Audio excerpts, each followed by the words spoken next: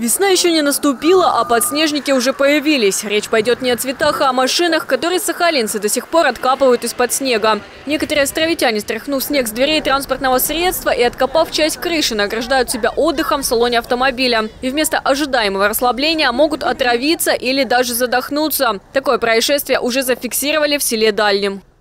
Несчастный случай произошел во дворе этого дома. Мужчина угорел в своем автомобиле. Виной всему угарный газ, который заполнил салон из-за того, что выхлопная труба была засыпана снегом.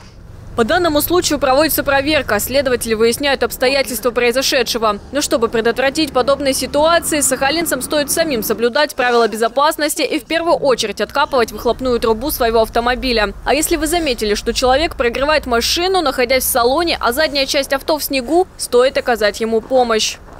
В первую очередь, конечно, обратите внимание, э, в сознании он или без сознания.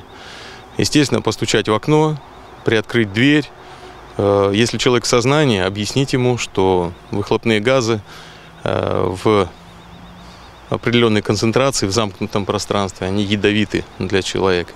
Если же человек уже потерял сознание, его стоит вытащить из автомобиля на свежий воздух, оставить пострадавшего в полусидячем положении и вызвать скорую помощь. Правила безопасности при откапывании машины простые, соблюдать их несложно. Короче, я откапываю машину по кругу, завожу ее, прогреваю и потом только сажусь в салон, когда машина полностью прогреется. А если вы увидите, что ваши соседи не соблюдают да, эти правила безопасности, то какие ваши действия? Ну, я думаю, будет, э, ну, лучше будет предостеречь их от этого, да, рассказать им, что лучше так делать не стоит. Стоит все равно сначала откопать машину, потом ее только завести.